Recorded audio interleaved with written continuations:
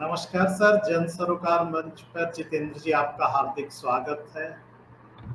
तो एक अच्छा अवसर है कि आज हम आपकी कुछ कविताएँ सुनेंगे। स्वागत सर बहुत बहुत धन्यवाद, आदरणीय देवेंद्र जी। जन सरोकार मंच के माध्यम से देवेंद्र जी ने जो मुझे अवसर दिया है कविता पाठ के लिए तो श्रोताओं के लिए ये कविताएँ मैं प्रस्तुत कर रहा हूँ।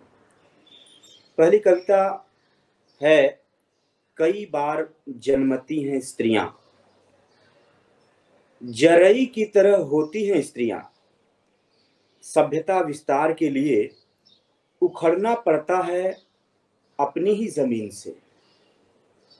रोप दी जाती हैं कहीं और। तलाशनी होती है अपने हिस्से की धरती, अपना आकाश। गर्भस्थ शिशु के रेंगते ही जन्म लेती है माँ। सहस्र धाराओं से उतरता है जीवन अमृत धीरे धीरे कन्या पूजकों और शक्ति उपासकों के बीच कई बार जन्मती हैं स्त्रियाँ। करना पड़ता है अगिन स्नान हर बार। ये रही कविता। कई बार जन्मती हैं स्त्रियाँ। आइए हम आपके सामने दूसरी कविता सुनाते हैं, जिसका शीर्षक है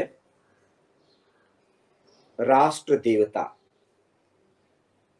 राष्ट्र देवता किसान, जब ठप हो गए थे कार्यालय और कारखाने, जब ठप हो गए थे कार्यालय और कारखाने बंद पड़े थे शिक्षा के द्वार। डर के मारे काँप रही थी संसद। पसीना पसीना थी सरकारें।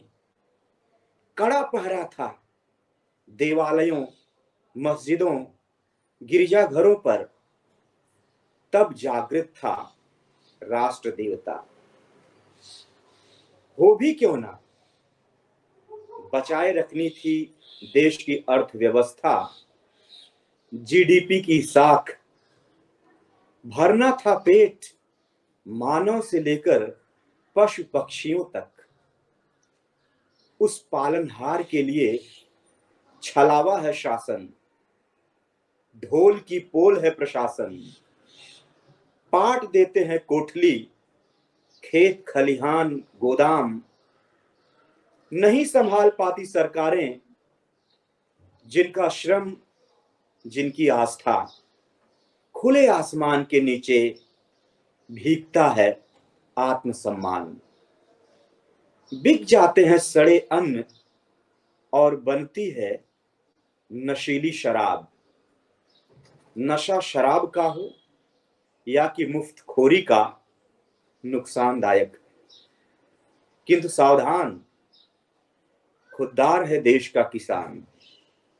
नस नस में दौड़ता है श्रम और संगीत का नशा। मत छीनो कुछ भी। रहने दो इनके हिस्से की धरती और सांसों का आना जाना। राष्ट्र देवता को समर्पित ये कविता। और इसी क्रम में मैं आपको एक कविता सुनाता हूँ, राष्ट्र निर्माता। जी हाँ शिक्षकों के प्रति। कभी चलना मेरे संग उस बस्ती के बीचों बीच। कभी चलना मेरे संग उस बस्ती के बीचों बीच। बदहवास मिलेंगे मास्टर वशिष्ठ। बच्चों को सिखाते थे कभी संघर्षों से क्या घबराना। निढाल पड़े हैं, बेदम। बेदखल कर दिया गया नौकरी से एक अंतरराष्ट्रीय विद्यालय ने कोरोना के नाम पर। ये उसी दौर की कविता है, लेकिन मुझे लगता है कहीं न कहीं ये आज भी प्रासंगिक है। ले चलेंगे गाँव के उत्तरी छोर पर। मिलेंगे वहाँ खिचड़ी बालों वाले फटी बनियान पहले शुक्ला जी। मास्टरी के लिए ना जाने भरे कितने आवेदन। परीक्षा शुल्क तक हजम कर गई सरकारें। कोर्ट ने लगा दिया स्टे। बनते बनते रह गए शाही नौकर। चलना उन अध्यापकों के भी घर। चलना उन अध्यापकों के भी घर। आजीवन जो नहीं पकड़े माउस सीख लिए हैं गुर ऑनलाइन पढ़ाने का। महसूस करेंगे उनमें भी रोटी छीनने का भय।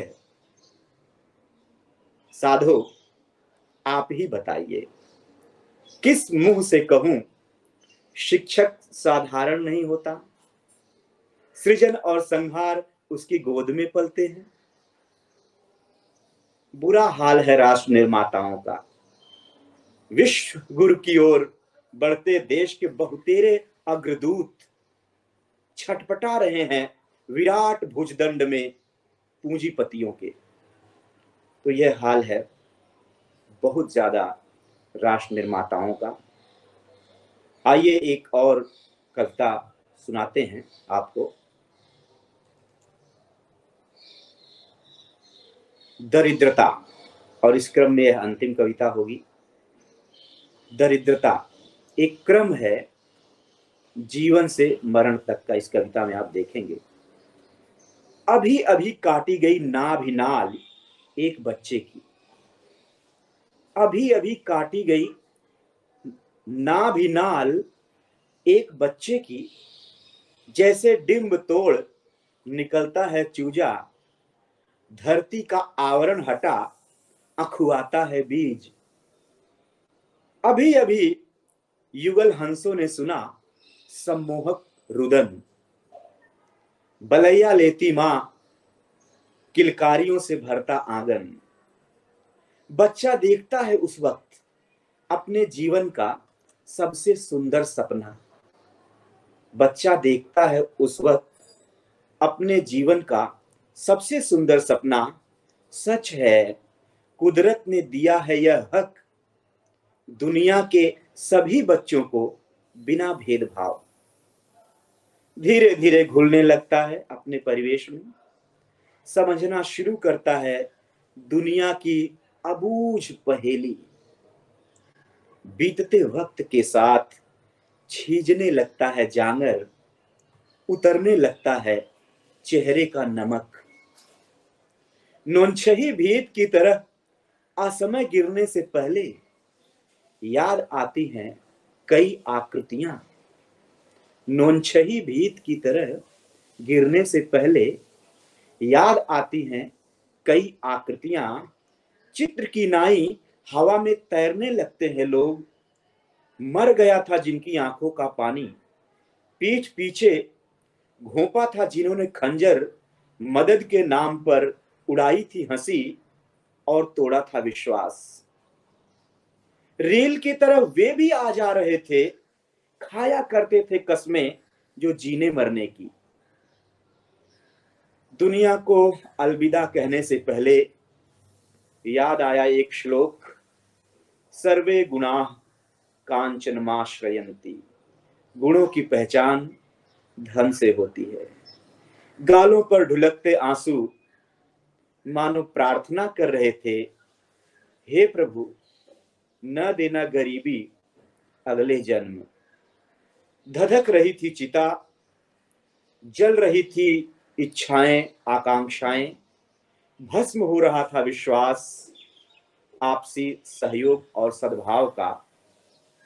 अभी अभी श्मशान की दीवारों ने सुना, चीतकार करती असीम वेदना। गोस्वामी तुलसीदास जी ने ठीक ही लिखा है न ही दरिद्र सम दुख जगमाही मुझे अवसर प्रदान करने के लिए जन सरोकार मंच का मैं बहुत बहुत आभार व्यक्त करता हूँ। बहुत बहुत धन्यवाद।